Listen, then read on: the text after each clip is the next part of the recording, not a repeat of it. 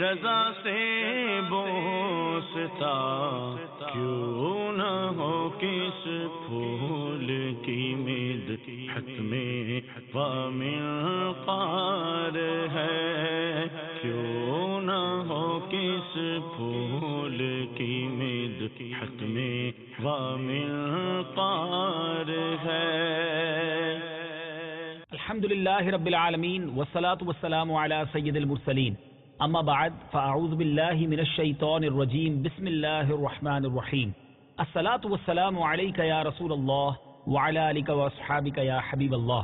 الصلاة والسلام علیکہ یا نبی اللہ وعلى آلک واصحابک یا نور اللہ. میٹھے میٹھے اسلامی بھائیوں اور مدنی چل کے ناظرین، سلسلہ ہے نغمات رضا. اس سلسلے میں الحمدللہ ہمیں کلام رضا کو سنتے ہیں اور سمجھنے کی کوشش بھی کرتے ہیں۔ پچھلے سلسلے میں بہت ہی خوبصورت کلام ان کی مہک نے دل کے غنچے کھلا دیے ہیں، جس راہ چل دیے ہیں، کوچے بسا دیے ہیں۔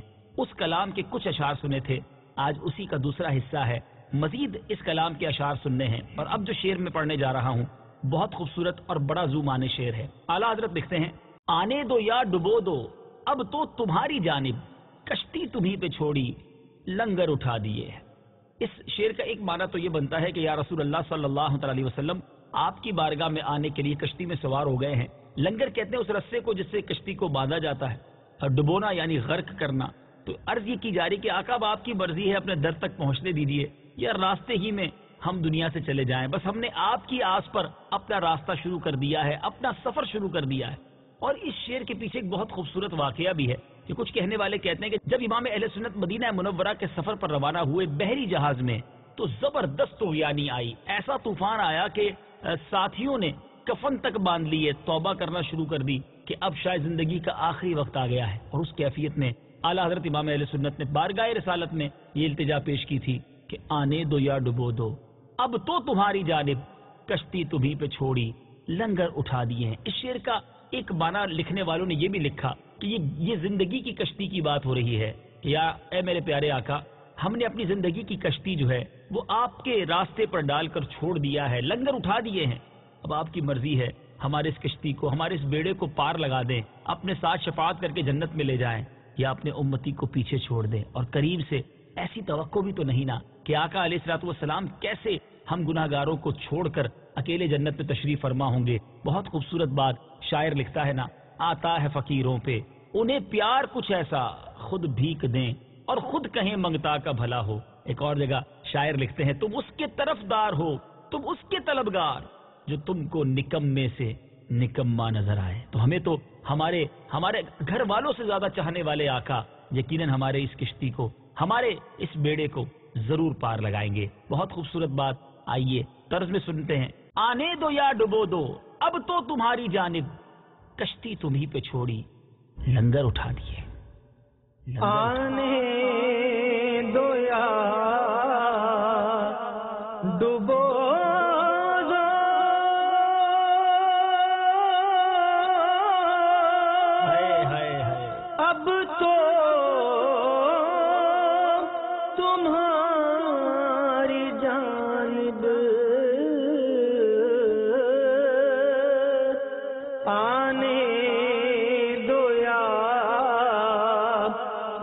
ڈبو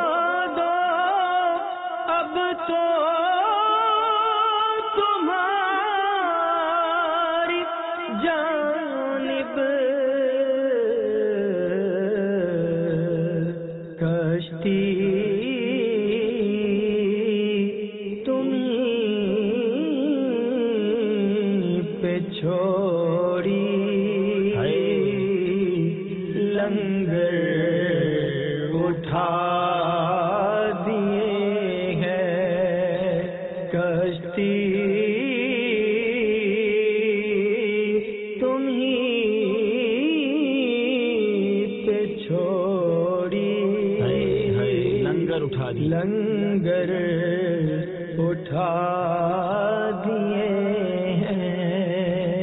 سبحان اللہ سبحان اللہ۔ میٹھے میٹھے اسلامی بھائیوں، اب اگلا شعر محشر ہی کا تذکرہ اور بڑے پیارے انداز میں آقا علیہ السلاط اسلام کی بارگاہ میں التجا ہے۔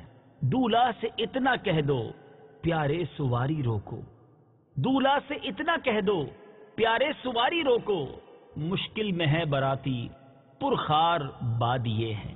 یہاں پرخار کانٹوں سے بھرے ہوئے اور بادیے یعنی جنگل۔ گویا اعلیٰ حضرت امام علیہ سرت کچھ اس طرح۔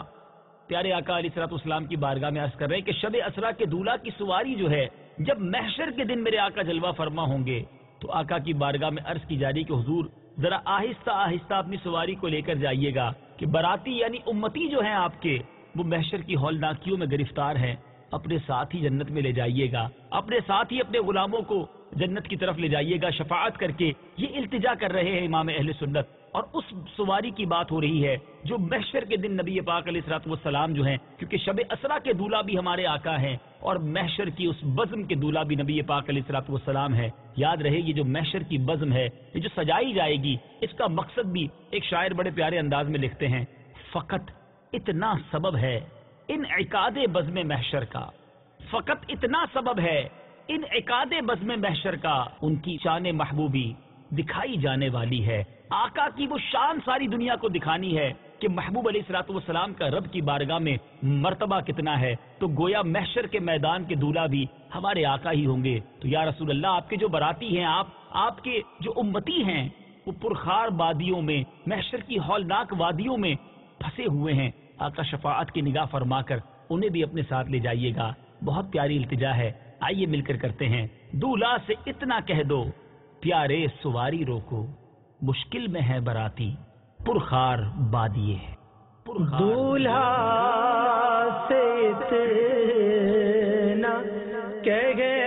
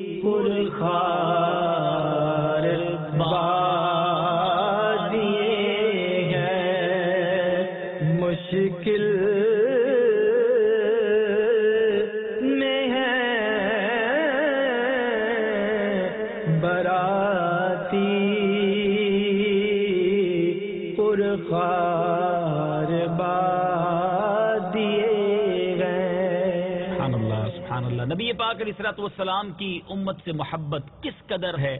اعلیٰ حضرت کتنے پیارے انداز میں رب کی بارگاہ میں التجا پیش کر رہے ہیں۔ اللہ کیا جہنم؟ اب بھی نہ سرد ہوگا۔ اللہ کیا جہنم؟ اب بھی نہ سرد ہوگا۔ رو رو کے مصطفیٰ نے دریا بہا دیے ہیں۔ اللہ کیا جہنم؟ اب بھی نہ سرد ہوگا۔ رو رو کے مصطفیٰ نے دریا بہا دیے ہیں۔ سبحان اللہ نبی پاک علیہ السلاط والسلام اس گناہ گار امت کے لیے راتوں کو رویا کرتے، راتوں کو جاگا کرتے، اتنے طویل قیام کیا کرتے کہ میرے آقا کے پیروں پر ورم پڑ جایا کرتا۔ اے میرے میٹھے اسلامی بھائیوں، ایسے نبی کس امت کو ملے ہیں جیسے آقا ہمیں ملے ہیں؟ دنیا میں تشریف لائے، رب حبلی، امتی کہتے ہوئے پیدا ہوئے، حق نے فرمایا کہ بخشا۔ السلاۃ وسلام سجدہ کر کے رب حبلی امتی کی صدائیں ہیں۔ جب تک حیات طیبہ رہی گناہ گار امت کے لیے دعائیں کرتے رہے، سجدے کرتے رہے، آنسو بہاتے رہے، اور جب یہی آقا علی سلاۃ والسلام دنیا سے پردہ فرما کر اپنے روزے کے اندر، اپنی قبر کے اندر تشریف لے جا رہے تھے، صحابی رسول نے دیکھا کہ میرے آقا کے لبھائے مبارکہ کو جنبش ہو رہی ہے۔ جب کان قریب لے کر گئے، تو رب حبلی امتی امتی امتی کی صدائیں تھیں۔ اے میرے میٹھے اسلامی بھائیوں، ایسے پیارے آقا ہمیں ملے ہیں اور اللہ کی بارگاہ میں التجا کرتے ہیں کہ یا اللہ، ہم گناہ گار سہی تجھے محبوب پاک علیہ السلاط والسلام کے رت جگوں، آقا علیہ السلاط والسلام کی امت کے غم میں بہائے ہوئے آنسوؤں کا واسطہ۔ اے رب کریم، جہنم کی آگ کو سرکار علیہ السلاط والسلام کی امت پر ٹھنڈی فرما دے۔ کیا پیاری التجا ہے۔ اللہ، کیا جہنم۔ اب بھی نہ سرد ہوگا۔ رو رو کے مصطفیٰ نے دریا بہا دیے۔ ہیں اللہ کیا جہن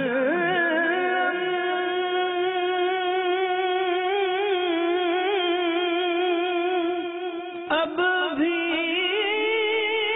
نہ سرد ہوگا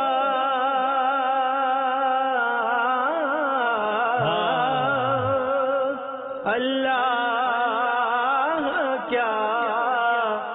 جہنم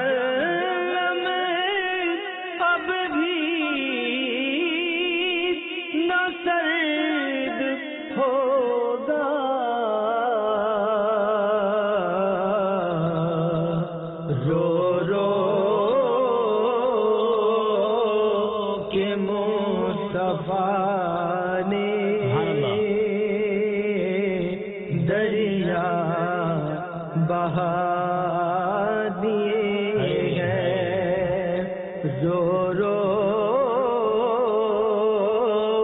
کے مصطفیٰ نے دریا بہا دیے ہیں۔ بہت پیارا شعر۔ میرے آقا علیہ السلاط اسلام کی شان فیاضی دیکھیں۔ میرے آقا علیہ السلاط اسلام کی عطاؤں کا دریا کیسا ہے؟ اعلیٰ حضرت لکھتے ہیں، میرے کریم سے گر قطرہ کسی نے مانگا۔ میرے کریم سے گر، قطرہ کسی نے مانگا۔ دریا بہا دیے ہیں، در بے بہا دیے ہیں۔ کریم، میرے آقا علیہ السلاط اسلام کی طرف اشارہ ہے، قطرہ یعنی بوند۔ اچھا اب آقا نے کیا دیا؟ دریا بہا دیے ہیں۔ دریا بہانا یعنی بہت کچھ سخاوت کے دریا بہا دیے۔ اور در کہتے ہیں موتی کو۔ یہاں بہت سارے لوگ دربے بہا دیے ہیں۔ یا یہ مراد نہیں ہے، در بے بہا دیے ہیں۔ در یعنی موتی بے بہا یعنی بہت قیمتی، بہت زیادہ، بہت خوبصورت۔ اب اس کا معنی کیا بنتا ہے؟ کہ آقا علیہ السلاط والسلام سے جب کسی نے تھوڑا بھی مانگا نا، قطرہ مانگا۔ آقا نے پہلے تو دریا بہائے اور قیمتی ترین چیزیں عطا فرمائیں، قیمتی ترین موتی عطا فرمائے۔ میرے بیچ اسلامی بھائی اور یہ نبی پاک علیہ السلاط والسلام کی سیرت میں جا بجا یہ واقعات موجود ہیں کہ آقا علیہ السلاط والسلام کی بارگاہ میں جو آتا تھا سائل، جو آتا میرے آقا اسے عطا فرماتے بلکہ نبی پاک علیہ السلاط والسلام جواد کی اس اس یہ سب یہ صفت کے مالک تھے۔ جواد اسے کہتے ہیں کہ جو شخص اپنے آپ پر خرچ نہ کرے، دوسروں پر خرچ کرتا رہے۔ میرے آقا کے ہاتھوں میں ظاہری نعمتیں ہوتی، جو آتا اسے عطا فرماتے۔ اور جب یہ ظاہری نعمتیں ختم ہو جاتی، تو پھر آ کر کوئی سوال کرتا، تو آقا یہ نہ کہتے کہ ختم ہو گیا ہے۔ فرماتے، فلاں جگہ پر چلے جاؤ، اس دکاندار سے میرے نام پر وہ نعمت لے لو، وہ چیز خرید لو، میں قرض بعد میں لوٹا دوں گا۔ نہیں سنتا ہی نہیں۔ مانگنے والا تیرا۔ یہ سیرت مصطفیٰ صلی اللہ تعالی وسلم کا ایک ایسا پہلو ہے۔ اور سچ بتاؤں، یہ بس، یہ یہ عطائیں آج بھی جاری ہیں۔ مانگنے والا چاہیے، نبی پاک کے در سے آج بھی نہیں سنتا ہی نہیں۔ مانگنے والا تیرا، آقا آج بھی جھولیاں بھر رہے ہیں۔ اے کاش، دربار رسالت صلی اللہ تعالی علیہ وسلم کی سچی بھیک لینا ہمیں بھی نصیب ہو جائے اور صحیح بانوں میں آقا علیہ السلط اسلام کے دربار میں فریاد کرنا نصیب ہو جائے۔ عطاؤں اور بخشش کی بات کریں تو عقلیں حیران ہو جاتی ہیں۔ دربار رسالت سے کس کو کیا مل جاتا ہے؟ حضرت ربیہ رضی اللہ تعالیٰ کی سیرت کا ایک بڑا خوبصورت اور یادگار واقعہ۔ ان کی قسمت پر قربان ہونے کو جی چاہتا ہے۔ نبی پاک کے وضو وغیرہ کا اہتمام کیا کرتے۔ ایک بار پیارے آقا علیہ السلاط اسلام کے لیے وضو کا پانی لے کر حاضر ہوئے۔ میرے آقا بڑے خوش ہوئے ان کی خدمت سے۔ فرمایا، سل یا ربیہ مانگے ربیہ کیا مانگتا ہے؟ علماء نے اس سل پر بحث کی ہے کہ مانگ میں میرے آقا نے بالکل مطلقن یعنی جو چاہو مانگ لو۔ یعنی یہ وہی کہہ سکتا ہے جس کے ہاتھ میں دنیا اور آخرت کے خزانے ہوں۔ جو جو چاہے دے سکے، وہی کہے گا نا جو چاہے مانگ لو۔ حضرت ربیہ نے بھی کمال سوال کیا۔ کہتے یا رسول اللہ صلی اللہ تعالی علیہ وسلم، اس کا مضمون کچھ اس طرح ہے کہ آقا آپ سے جنت میں آپ کا ساتھ مانگتا ہوں. سبحان اللہ. تو میرے بیچے اسلامی بھائیوں، نبی پاک علیہ السلاۃ والسلام نے ربیہ رضی اللہ تعالیٰ سے فرمایا کہ سجدوں کے ذریعے، عبادتوں کے ذریعے حدیث کا مضمون ہے، میری مدد کرو. گویا جنت میں اپنا ساتھ بھی عطا فرمایا. تو اب یہاں یہ بات سمجھ آ رہی ہے کہ آقا علیہ السلاۃ والسلام سے جو مانگا جائے، وہ ضرور عطا کیا جاتا ہے. شاعر لکھتے ہیں نا، قربان میں ان کی بخشش پر، مقصد بھی زباں پر آیا نہیں. بن مانگے دیا اور اتنا دیا، دامن میں ہمارے سمایا نہیں۔ تو پھر کیوں نہ مانگے؟ سرکار علیہ السلاط والسلام سے اعلیٰ حضرت ایک جگہ لکھتے ہیں نا، کون دیتا ہے؟ دینے کو منہ چاہیے۔ دینے والا ہے سچا، ہمارا نبی۔ اب آئیے اس شیر کو اس تصور میں ڈوب کر سنیے۔ ہم آقا سے عرض کرتے ہیں، یا رسول اللہ، آپ کو معلوم ہے ہمیں کس چیز کی حاجت ہے؟ جو ہمارے حق میں بہتر ہے، اپنے کرم کے خزانوں سے ہماری جھولی میں عطا فرما دیجیے کیونکہ میرے کریم سے گر میرے کریم سے گر قطرہ کسی نے مانگا، دریا بہا دیے ہیں، در بے بہا دیے، در بے بہا دیے۔ میرے کریم سے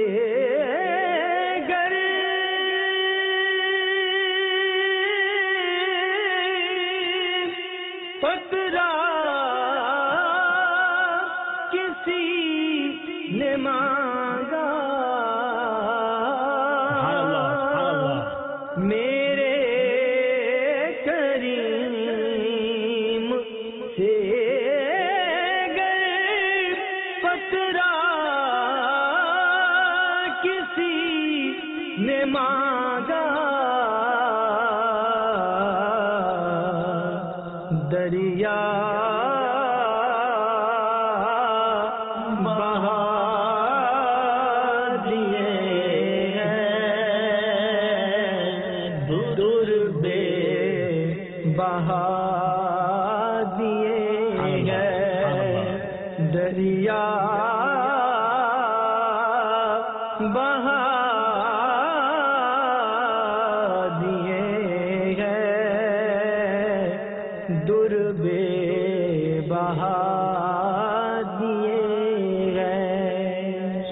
اللہ سبحان اللہ، اب باری ہے عطر کلام کی۔ جی ہاں وقت ہوا ہے مکتا سننے کا، اور یہ مکتا سارے عالم میں بہت شوق سے سنا جاتا ہے، کیونکہ یہ مکتا کمال مکتا ہے۔ اعلیٰ حضرت کا یہ مکتا اس کے پیچھے ایک بہت خوبصورت تفصیل ہے، وہ بھی عرض کرتا ہوں۔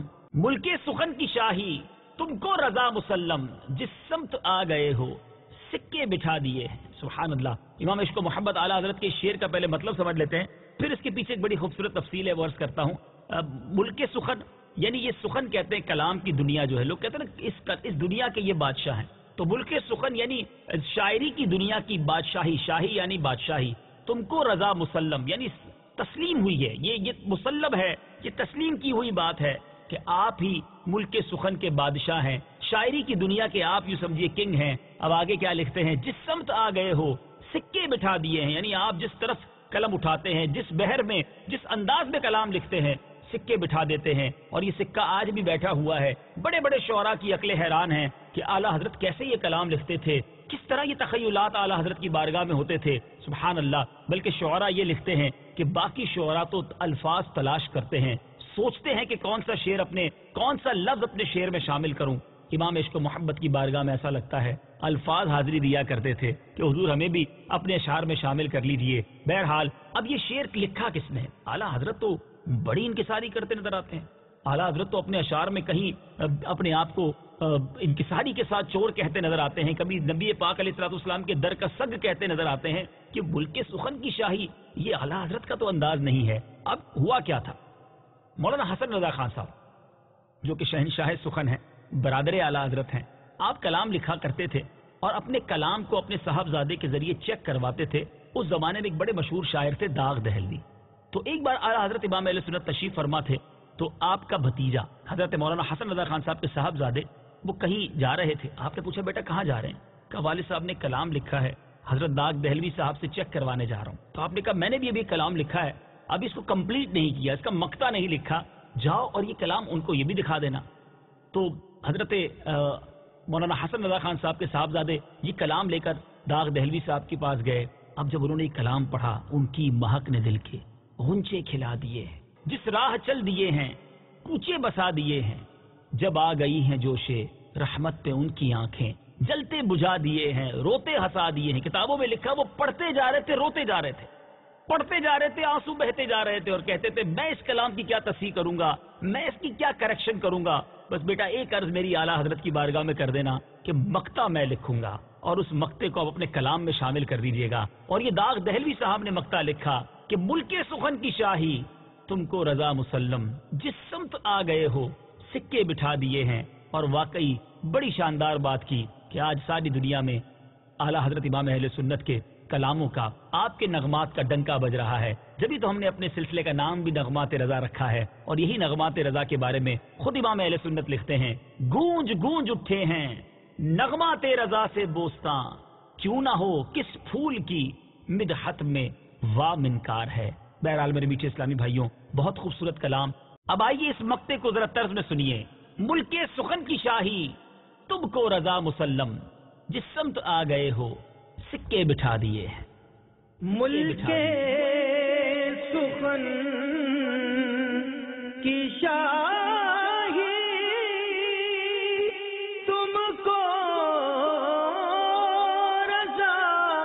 مسلم ملک کی شاہی تم کو رضا مسلم۔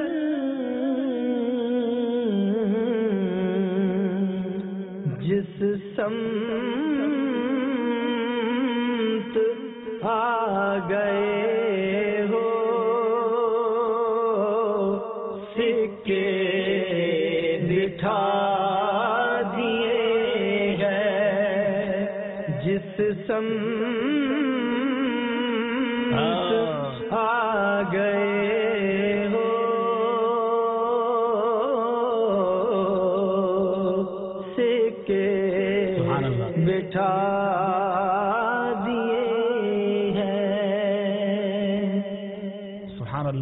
اللہ بیٹھے بیٹھے اسلامی بھائیوں آپ نے یہ خوبصورت کلام دو حصوں میں دو قسطوں میں سنا۔ اب آئیے اختتام پر اس سلسلے کے تحت اللفظ میں بھی یہ کلام سن لیجیے۔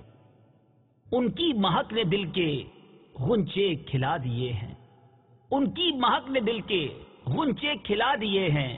جس راہ چل دیے ہیں کوچے بسا دیے ہیں۔ جب آ گئی ہیں۔ جوشے رحمت پہ ان کی آنکھیں۔ جب آ گئی ہیں جوشے رحمت پہ ان کی آنکھیں جلتے بجھا دیے ہیں روتے ہنسا دیے ہیں۔ ایک دل ہمارا کیا ہے؟ آزار اس کا کتنا؟ ایک دل ہمارا کیا ہے؟ آزار اس کا کتنا؟ تم نے تو چلتے پھرتے مردے جلا دیے ہیں۔ ان کے نثار کوئی کیسے ہی رنج میں ہو؟ ان کے نثار کوئی کیسے ہی رنج میں ہو؟ جب یاد آ گئے ہیں، سب غم بھلا دیے ہیں۔ ہم سے فقیر بھی اب پھیری کو اٹھتے ہوں گے۔ ہم سے فقیر بھی اب پھیری کو اٹھتے ہوں گے۔ اب تو غنی کے در پر بستر جما دیے ہیں۔ اسرا میں گزرے جس دم بیڑے پہ قدسیوں کے۔ اسرا میں گزرے جس دم بیڑے پہ قدسیوں کے۔ ہونے لگی سلامی، پرچم جھکا دیے ہیں۔ آنے دو یا ڈبو دو۔ اب تو تمہاری جانب۔ آنے دو یا ڈبو دو۔ اب تو تمہاری جانب۔ کشتی تمہیں پہ چھوڑی۔ لنگر اٹھا دیے ہیں۔ لنگر دورا سے اتنا کہہ دو۔ پیارے سواری روکو۔ دولہ سے اتنا کہہ دو۔ پیارے سواری روکو۔ مشکل میں ہے براتی۔ پرخار بادیے ہیں۔ پرخار اللہ کیا جہنم۔ اب بھی نہ سرد ہوگا۔ اللہ کیا جہنم! اب بھی نہ سرد ہوگا۔ رو رو کے مصطفیٰ نے دریا بہا دیے ہیں۔ میرے کریم سے گر قطرہ کسی نے مانگا۔ میرے قریب سے گر قطرہ کسی نے مانگا۔ دریا بہا دیے ہیں۔ در بے بہا دیے ہیں۔ در ملک سخن کی شاہی۔ تم کو رضا مسلم۔ ملک سخن کی شاہی تم کو رضا مسلم جس سمت آ گئے ہو سکے بٹھا دیے ہیں۔ سکے جس سمت آ گئے ہو سکے بٹھا دیے ہیں۔ ان کی مہک نے دل کے غنچے کھلا دیے ہیں۔ جس راہ چل دیے ہیں کوچے بسا دیے ہیں۔ بدری چینل دیکھتے رہیے۔ اگلے سلسلے نغمات رضا میں ایک اور کلام رضا اور اس کے تحت کچھ مدنی پھول۔ پیش کریں گے۔ سلو علی الحبیب صلی اللہ تعالی علی محمد صلی اللہ علیہ وسلم۔ گونج گونج اٹھے ہیں نغماتے رضا سے بوستا۔ کیوں نہ ہو کس پھول کی مد حت میں وامل پار ہے؟ کیوں نہ ہو کس پھول کی مد حت میں وامل پار